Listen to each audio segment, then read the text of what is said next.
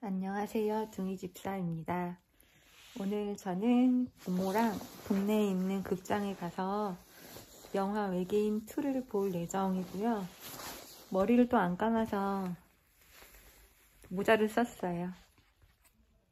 저는 다시 집에 왔고요. 둥이가 많이 울어요.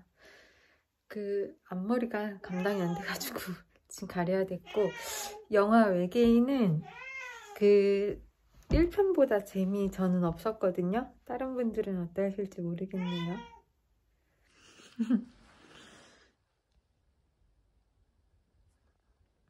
둥이야 둥이가 지금 많이 제가 외출을 하고 오면 둥이가 화가 많이 나 있어서 둥이?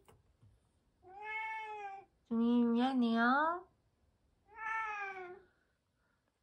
그럼 저는 오늘 하루도 둥이랑 마감을 잘 하겠습니다.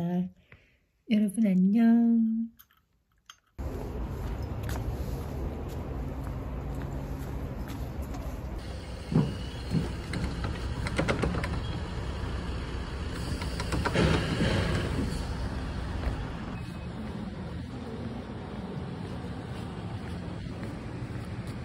이어폰을 연결하시거나 키패드 시작키를 눌러주세요. 자료 수신 중 발급글 증명서를 다시 서울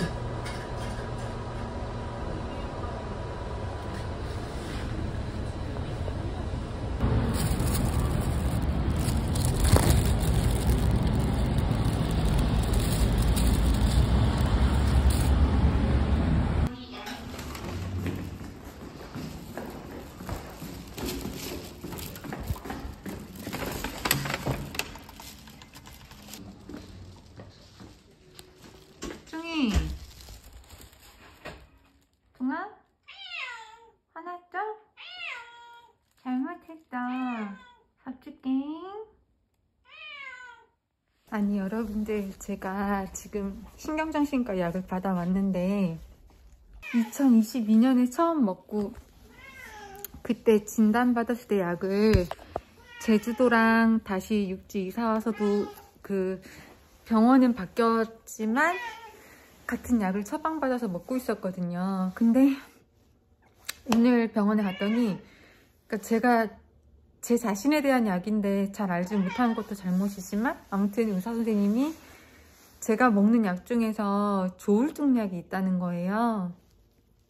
근데 이제 그걸 좀 줄여보자. 근데 이제 조현병, 조울증 이런 약들이 있는데 제가 먹고 있는 것들에 그런 약들이 있었고 이게 뭐 불면증이나 우울감 있는 사람 환자들한테 사용하기는 한다.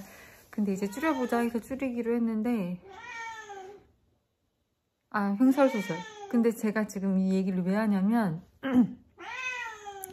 저는 제가 맨 처음 신경정신과를 갔을 때 그게 중이가 계속 울어서 처음 갔을 때 그 조울증이나 조현병 관련된 키워, 키워드 단어들은 듣지 않았기 때문에 그때 그냥 제 감정은 너무 슬펐고 너무 우울했고 그냥 살기 싫고 죽고 싶다 그런 정도여서 조울증, 조현병 이런 단어 같은 것들을 생각을 안 했었어요. 근데 오늘 막상 병원에서 이렇게 새로운 의사 선생님이 그렇게 얘기를 해주니까 되게 좀, 좀 무섭기도 하고 그렇더라고요. 저 지금 영상 찍으면서도 제가 뭐라고 하는지 모르겠거든요. 약간 조울증, 조현병 이 단어에 또 꽂혀서 계속 너무 많은 생각들을 하는 것 같아요. 지금 너무 배고파서 찐빵 사온 거 빨리 먹고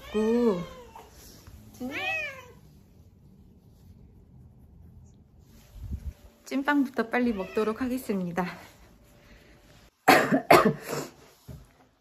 아무튼 그래서 결론적으로 제가 드리고 싶은 말씀은 그냥 마음이 좀 슬프고 우울해서 그냥 감기처럼 이런 것도 병원에 가야겠다 해서 가볍게 갔던 병원인데 1년 전에 너무 그냥 내가 먹는 약이 그러니까 지금 잘못됐다라는 게 아니라 그래도 내가 어떠한 약들을 먹고 있는지 설명 정도는 들었어야 됐는데 너무 급, 급하게 지내오지 않았나 그런 생각을 합니다. 아 지금 찐빵을 너무 빨리 먹고 오늘 또 머리 안 감아서 아무튼 찐빵을 너무 빨리 먹고 배가 너무 부르고 코도 막 막히고 콧물도 나고 컨디션이 조금 메롱인 것 같은데 요즘에 계속 컨디션이 좀, 좀 별로거든요. 근데 건강검진, 아니 그 3개월에 한 번씩 하는 추적검사는 다 괜찮고 하니까 큰 걱정은 하지 않고요. 음, 그리고 오늘 이력서 잘 내고 왔고 결과는 다음 주에 나오는데 원래 증빙 서류에 주민등록 초본이랑 그 경력증명서, 자격증 다 냈어야 됐는데 해당 업무랑 관련된 가산점 붙을 수 있는 경력증명서나 자격증이 없어서 그냥 제출 안 하고 이력서랑 주민등록 초본만 내고 왔습니다.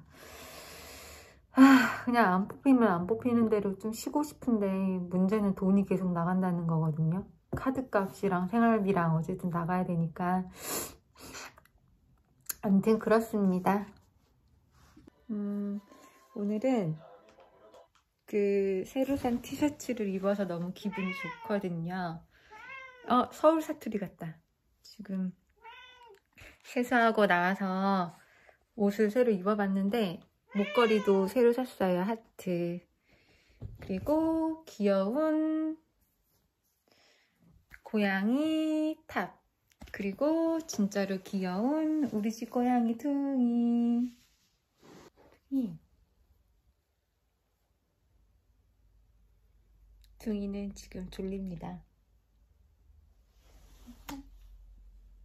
너무 예뻐요.